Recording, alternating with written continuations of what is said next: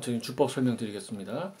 일단 키를 E 프렛, E 프렛에 카포를 끼시고요. 두 번째 칸에 코드를 보시면 A minor, G, 그다음에 E minor,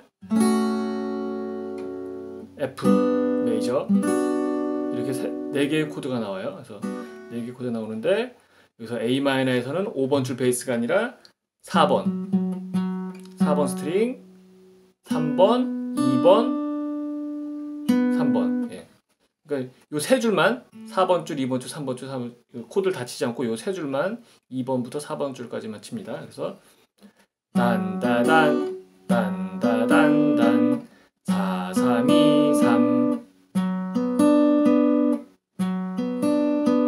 그렇죠? G 코드에서도 G 코드 잡고 상관없죠? 어차피 세 줄만 치니까 코드는 G인데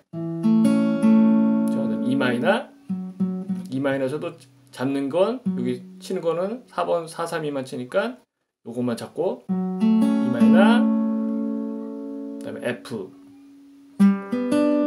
이런 식으로 운지가 가시면 돼요.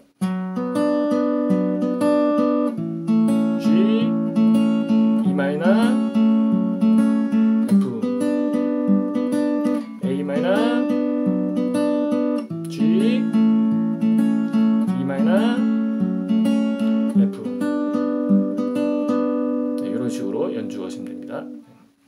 곡과 함께 첫 부분 한번 가볼게요.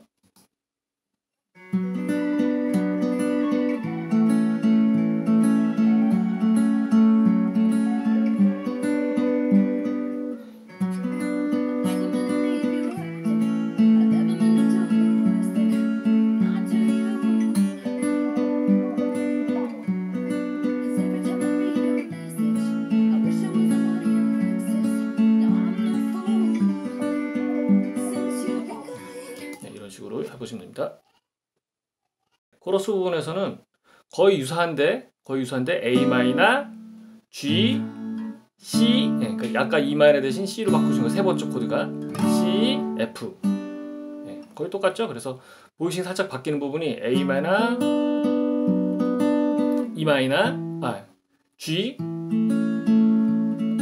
그다음에 C를 C를 여기서 네, 요세 줄, 5 플랫, 하나, 둘, 셋, 넷, 다섯 번, 네. 5 플랫에서 4번, 3번, 2번, 요세 줄 역시 똑같이. 또는 뭐 이렇게 잡아 상관없죠? 이런 식으로 C, 다시 F, 다시 한번. A 마이너, G,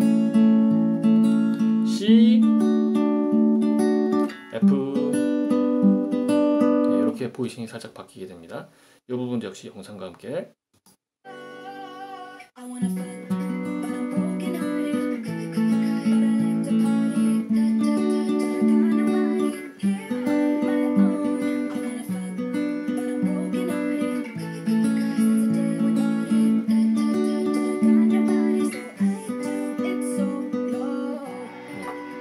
이런 식으로 연주하시면 되겠습니다.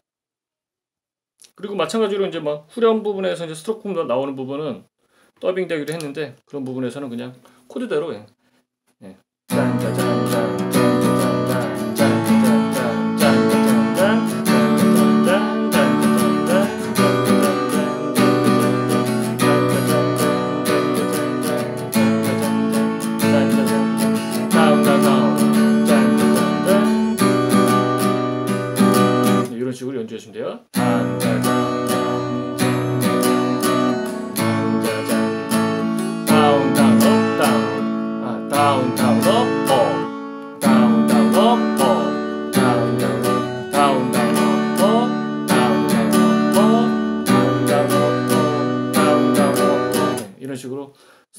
부분을 치셔도 되고 혼자 하실 때는 스트로크 연주하셔도 되고 만약 같이 하신다면 이런 식으로 스트로크 부분과 아르페지오 부분을 합쳐서 더빙 시키면서 연주하시면 될 것 같습니다. 이상으로 전체적인 주법 설명 마치겠습니다.